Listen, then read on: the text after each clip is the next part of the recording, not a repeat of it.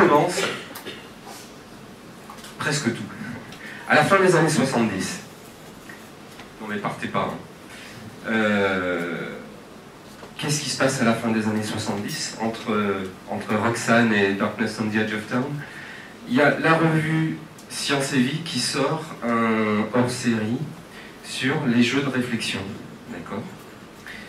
Euh, Une revue euh, que j'achète et qui pour moi c'est comme un chaudron de potion magique. Je suis tombé dedans. Voilà. Euh, à partir, quelques années plus tard, sort régulièrement une, revue qui s'appelle Jeux et Stratégie et qui nous a permis de découvrir plein de, jeux hallucinants. Des wargames, des jeux de rôle, des, GN, tout- toutes sortes de jeux, des jeux foisonnants, des jeux baroques avec des dizaines de pages de règles. On passe des heures à tabler toutes les nuits, enfin pas toutes bien sûr, à s'éclater. Et quelques années plus tard, il y a un autre événement, qui n'est pas vraiment un événement, c'est une grosse tendance qui s'est passée dans les années 90, où cette fois c'est l'école allemande qui a recentré un petit peu tout ça et puis qui, a gardé le côté, euh, qui a gardé la richesse et la profondeur des jeux, euh, mais qui en a fait quelque chose de, de plus humain en termes de taille, de mesure, des jeux qui pouvaient se jouer euh, en une heure par exemple, mais qui conservaient cette euh, richesse et cette profondeur. Alors pourquoi je vous parle de tout ça? Quelques années encore plus tard, euh, il y a un peu plus de 5 ans, euh, j'ai rejoint euh, l'équipe du centre de formation euh, de la Chambre de commerce à l'Aise. Et mon travail consiste à trouver, intégrer, développer, créer des jeux qu'on utilise en formation. Je parle de jeux euh, style jeux de société, je ne parle pas de jeux informatiques mais des jeux qu'on utilise euh, à des fins pédagogiques. Alors pourquoi est-ce qu'on utilise des jeux en formation? Bah, Déjà, parce que ça marche. Ça c'est tout bête. Parce que ça marche. Alors qu'est-ce qui fait que ça marche? Il y, a, pas mal de, raisons, il y a pas mal de choses qui sont, qui sont en mouvement quand, quand des joueurs sont attablés. Avec le, formateur, bien sûr, le, jeu en lui-même reste un, outil- entre les mains du formateur. Et ce qui se passe, c'est que, je, prends un exemple, par exemple, des joueurs sont engagés dans un jeu de gestion d'entreprise, par exemple, et euh, ils ont des règles à leur disposition, ils ont des ressources, et puis ils ont un objectif à atteindre qui va être de faire prospérer leur boîte, qui va être de gagner de l'argent, un peu, par exemple. Donc qu'est-ce qu'ils font ces joueurs? Déjà ils jouent en équipe, ils jouent ensemble, ils jouent les uns contre les autres, les équipes les unes contre les autres, mais ils jouent ensemble, ils échangent, ils cherchent des marches à suivre, ils se posent des questions, ils essayent d'évaluer leur situation, leur situation à eux, leur situation par rapport aux autres équipes, leur situation dans un contexte. Et puis du coup ils vont prendre des décisions. Ils vont essayer de prendre des décisions et ces décisions euh, vont mener à des actions. D'accord? Et ces actions vont naturellement avoir des conséquences sur euh, la suite du jeu, euh, sur, euh, le- la position des uns par rapport aux autres. Et toutes ces situations vont fournir de la matière aux formateurs pour faire ces apports, justement. Pour faire ces apports en fonction de ce qui se passe euh, ici ou là. Ok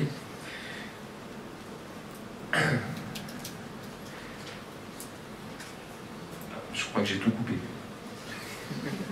Désolé. Alors, il y a quelques temps, euh, j'ai suivi une formation en agilité. J'ai découvert ça. C'est quelque chose qui m'a marqué, qui m'a beaucoup plu et que j'essaye de, de mettre, euh, mettre en place, d'utiliser tout simplement. Ok Euh, j'ai essayé de comprendre pourquoi ça, ça, ça me plaît autant. Et en fait, je vois des, je vois des, parallèles avec, avec le jeu, en fait. Euh, dans, dans, dans l'agilité, on a, on, a, on a des règles qui sont simples, euh, qui nous font faire des choses.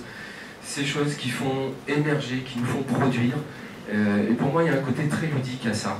Euh, ce que je veux dire par là, par ludique, j'entends pas, pas amusant, pas simplement amusant. hein, je veux dire qu'on on, on applique les règles et du coup ça nous permet de produire quelque chose. Une des, une des, des, remarques, une des limitations qu'on peut me faire remonter quand on parle de jeux utilisés en formation, c'est le côté un petit peu schématique. On va me dire, euh, mais ça c'est trop simple, ça se passe pas comme ça dans la réalité. Bien sûr, évidemment. L'idée, c'est tout simplement de proposer un modèle dynamique qui fonctionne. D'accord? Euh, De toute façon, quand on enseigne quelque chose, quand on transmet quelque chose, on modélise. On découpe ce qu'on veut enseigner en, parties euh, gérables, manipulables, assimilables. Simplement, en enseignement traditionnel, on, a donc un modèle, mais qui est un modèle statique. Je vais vous présenter les choses, petit a, petit b, petit c, et puis voilà. ok? La différence, c'est qu'avec un jeu, on a certes un modèle, mais on est dans un modèle dynamique. Un modèle dont les éléments sont en interaction les uns avec les autres, sans cesse. Et avec tout ce que ça suppose, tout ce que ça peut générer derrière. Donc, on est dans un modèle dynamique, on a des interactions, et du coup, ce sont les joueurs qui créent finalement leur propre situation. Euh, je parlais de, gestion d'entreprise tout à l'heure. Euh, je me souviens par exemple d'un cas où on avait une équipe qui s'est retrouvée euh, en fin de mois à ne pas pouvoir payer ses salaires. C'est embêtant. Et puis à côté de ça, qu'il y avait un stock monstrueux de je sais plus quoi. Bon, bref. Donc là, c'est clair qu'on a, a non seulement un problème, mais on a aussi quelque part la solution du problème. Ou en tout cas, c'est quelque chose qu'on peut analyser, qu'on peut commenter. Et donc c'est ce que fait le formateur, il utilise les situations qui sont générées, les situations dans lesquelles se trouvent les joueurs, pour faire ses apports sur des cas euh, concrets, ou bon, appelons ça virtuel, semi-concret, comme vous voulez, mais il n'empêche que les joueurs se trouvent dans ces situations-là parce qu'ils s'y mettent quelque part, et c'est le résultat de tout ce qui se passe autour de la table, de toutes les interactions. Ok Et donc, du coup, on est très proche des besoins, des attentes des stagiaires, des joueurs, parfois même des attentes et des besoins inexprimés. Le cas de la gestion des stocks euh, que je viens de vous citer, par exemple, on aurait peut-être euh, demandé à cette personne euh, ce qu'il attendait, il n'aurait certainement pas mentionné ça. D'accord? En d'autres exemples, je pense par exemple à des jeux qu'on utilise en négociation comme Chinatown, par exemple. les, contraintes, les limitations auxquelles vont se trouver confrontés les joueurs euh, viennent pas forcément, consciemment. À un moment donné, je veux négocier, je me trouve face à un mur, je ne sais pas euh, par quel bout prendre ce truc-là. Euh, bon, ben, voilà, le formateur va pouvoir s'appuyer dessus pour, pour, commenter, pour expliquer, pour revenir éventuellement à la théorie. L'idée d'utiliser les jeux, c'est ça. C'est je découvre. C'est alors là, c'est plus quand on commence justement à pratiquer. On ne peut pas commencer par jouer. Alors, le formateur est partant, il est prêt à utiliser un jeu, super, et puis il n'ose pas trop. Donc du coup, qu'est-ce qu'il va faire? Il va le placer en deuxième journée, par exemple, voire à la fin. Non, tout de suite, au début, on attaque par le jeu. Si c'est un jeu pour apprendre, on attaque par le jeu. Si c'est un jeu pour réviser, quiz, jeu de questions, bon, c'est autre chose. Mais vraiment le jeu qui fait pour apprendre. Hein, là, il faut commencer tout de suite par le jeu. Parce qu'on va pas, sinon on ne gagne pas de temps. On ne va pas commencer par débiter des concepts théoriques qu'on va ensuite mettre en pratique dans le jeu. Non, encore une fois, on découvre, on découvre et on structure. Donc il faut, il faut y aller, il faut commencer par le jeu. L'avantage, en plus, c'est tout le côté convivialité, constitution du groupe. Parce que ça, bon, j'en ai pas parlé parce que c'est vrai que c'est un petit peu une évidence, mais euh, quand on pense jeu en formation, on pense à ça, à cette convivialité qui est réelle, qui existe, mais qui n'est pas du tout le, seul apport, au contraire, contrairement à ce que certains pourraient penser. Hein. La convivialité, c'est un plus. Ok? Et euh, l'autre objection, c'est ça, c'est pas sérieux. Alors, en réalité, c'est pas une objection qui vient des stagiaires. Donc ça, c'est important de le savoir. Euh, les stagiaires, moi j'ai jamais vu un stagiaire euh, sur des centaines d'animations, j'ai jamais eu un stagiaire qui m'a dit non, je veux pas, c'est pas sérieux, on va pas jouer. D'accord?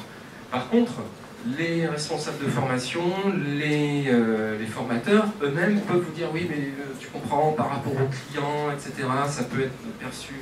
Non, c'est pas vrai. Le, stagiaire, lui, il est partant de toute façon, et l'idée du jeu en formation, c'est euh, j'apprends, c'est un exercice comme un autre.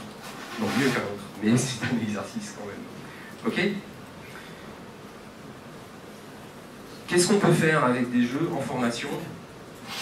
Euh, Plein de choses.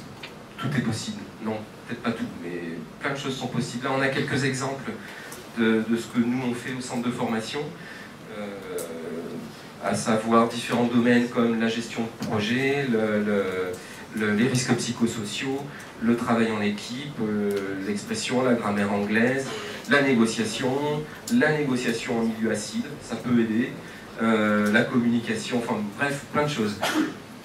La négociation en milieu acide, non, parfois on a des demandes du genre, ah, il nous faudra un truc de négociation, mais les mecs qui sont dans un environnement, c'est chargé, genre, euh, genre l'assurance ou je sais pas quoi, donc ils sont confrontés à des, à des, cas un peu, un peu costauds. Donc on utilise un jeu qui s'appelle Intrigue, qui voilà, qui est un jeu de... Chinatown, c'est un jeu de négociation où on peut gagner en étant en du win-win, etc. Intrigue, c'est un jeu de négociation, c'est un jeu d'enfoiré, Voilà. Donc du coup, ça apprend plein de choses. C'est très didactique, hein, Ok. Euh, Agricola, certains d'entre vous connaissent peut-être, on, monte une ferme, on, on l'a fait tourner, c'est un jeu qui est assez complexe et qu'on utilise en conduite de projet plein de choses. Moi, la limite que je vois, c'est pas tant sur. Enfin, par rapport au sujet, c'est plus qu'est-ce que je fais déjà quand j'apprends. Euh, je vais vous prendre un exemple parce que ça sert à rien de. Voilà. Euh, je veux apprendre Excel, par exemple. Ben, en formation, je fais du Excel. Voilà. Donc je pratique déjà, j'ai pas besoin de faire un jeu. D'accord?